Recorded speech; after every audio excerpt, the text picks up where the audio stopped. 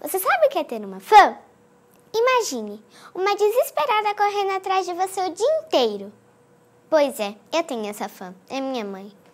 Você não sabe o mico que eu vivo pagando. Na apresentação de balé, por exemplo.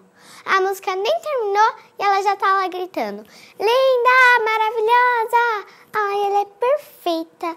E na saída do curso de inglês, a minha filha fala inglês fluente. Ai, mãe, eu nem sei falar o básico. Você que é feliz por não ter uma fã. Essa semana na escola, a minha fã resolveu se levantar na reunião só para me comparar com as outras meninas. A minha filha é a mais inteligente da classe. São tantos elogios, só não sei por que ela se esquece disso quando chega em casa.